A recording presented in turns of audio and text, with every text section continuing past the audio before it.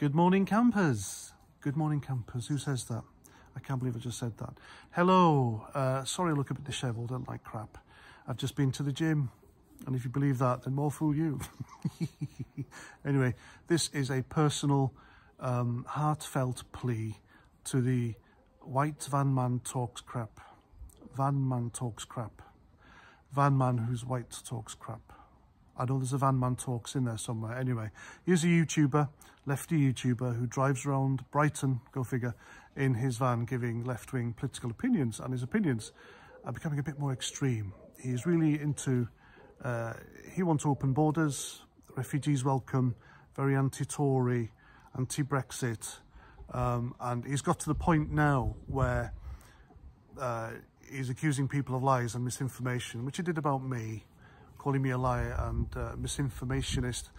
I apologise if I get things wrong, quite openly. It gets the views. no, but you do, don't you? If you're decent, you get something wrong, you apologise.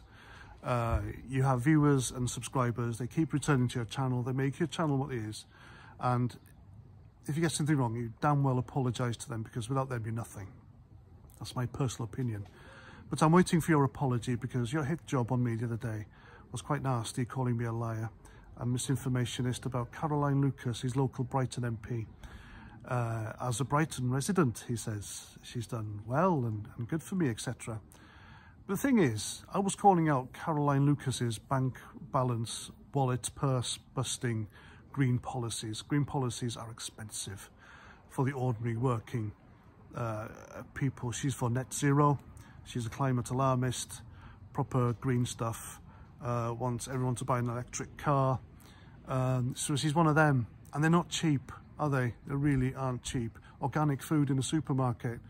Nobody buys them if you're working class because they're too bloody expensive for a start. People would. Organic food is delicious.